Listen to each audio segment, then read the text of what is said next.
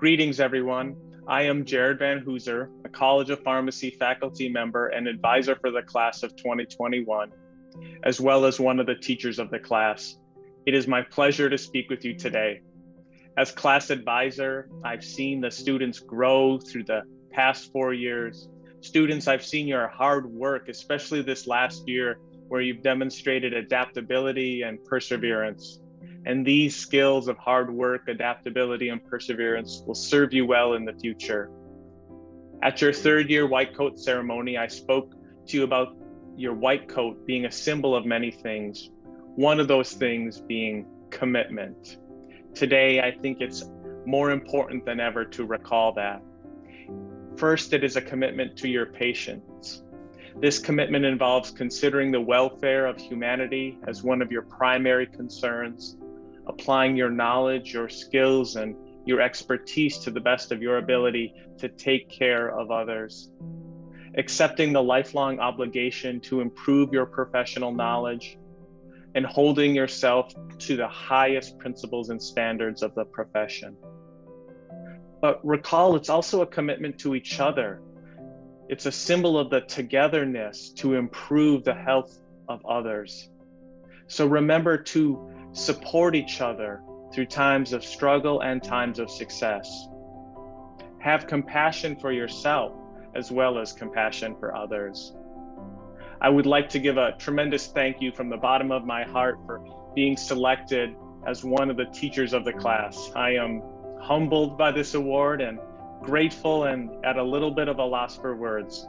It's been my pleasure to have you in class, to teach you, and to learn from you. Thank you. I want to congratulate each and every member of the University of Minnesota Doctorate of Pharmacy class of 2021. As I said at the beginning, you've all worked incredibly hard over the last four years, and even before that in your pre pharmacy studies. And I'm certain you are all eagerly looking forward to this day, and rightfully so. So take some time to enjoy it, some time to celebrate, some time to reflect, time to extend thanks to the people that have supported you. You all have exciting futures in front of you uh, in the family.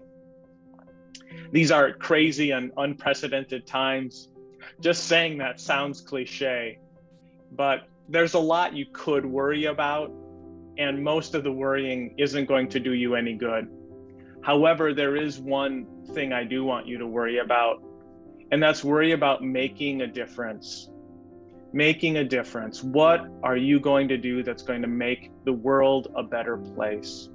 Focus on how to make a difference and leaving a positive impact. You're part of the family. Stay in contact with with us. Thank you again and congratulations. Hello, class of 2021. I just wanted to start by wishing you all a happy National No Socks Day. That's on May 8th, the day of your graduation, not the day that I'm recording this. Um, but I also wanted to just start out by saying thank you. I'm truly honored to have been selected as the teacher of the year for your class. Um, we've been through some stuff together. You all survived the, the first iteration of my course. Um, you were patient, you were kind, you provided me with feedback, and you inspired me, not only because of your dedication and work to your coursework, but also the fact that you all did this through a critical time through a crisis. You're in the middle of a pandemic trying to survive and be resilient in pharmacy school, and you all did it. Here you are, you're graduating.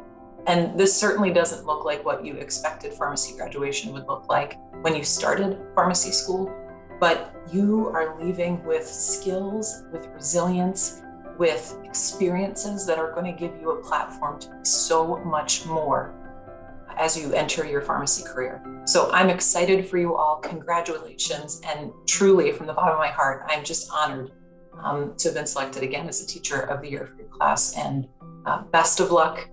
Um, I'm very proud of you all. Keep in touch, and you all know who to direct your questions to.